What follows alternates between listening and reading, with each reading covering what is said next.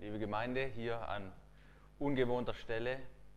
In diesen Tagen wird die Welt durch den Coronavirus erschüttert. Wir sind alle gespannt, wie sich die ganze Lage entwickelt und welche Folgen dies alles auch ganz praktisch noch für uns hat.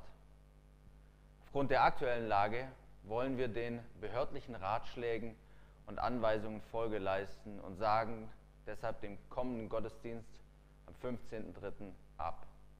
Die Kleingruppen können vorerst stattfinden.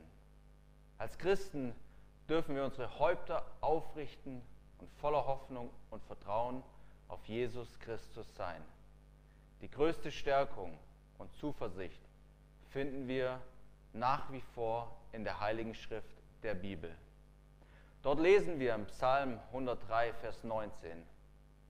Der Herr hat seinen Thron im Himmel gegründet und seine Königsherrschaft regiert über alles. Wie trostvoll ist es zu wissen, dass Gott nach wie vor auf dem Thron sitzt und der über alles regiert, auch über den Coronavirus. Wir haben hier in der FC Bregenz ein kleines Fernsehstudio eingerichtet, wie ihr ja bereits erkennen könnt. Und erstmalig in der Geschichte der FC Lindau wird der Gottesdienst per Livestream am Sonntag ausgestrahlt. Diesen Gottesdienst werden wir gemeinsam mit der FCG Bregenz feiern. Freut euch auf Wahrheiten der Schrift mit Pastor Mike Clark und mir, Simon Jocham. Außerdem werden wir weitere Predigten aufnehmen und auf die Homepage stellen.